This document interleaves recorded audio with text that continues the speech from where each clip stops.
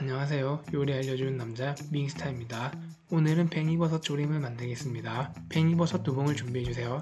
팽이버섯의 밑둥은 잘라주세요.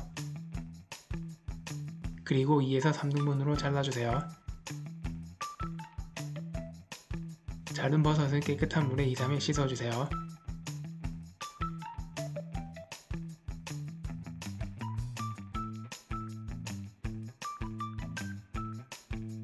그리고 물기를 제거해주세요. 냄비에 맛술 2숟가락, 간장 2숟가락 반, 물 2숟가락을 넣고 센 물로 끓여주세요. 끓어오르면 팽이버섯을 넣어주세요. 팽이버섯을 넣고 중불로 6분 정도 졸이시면 됩니다.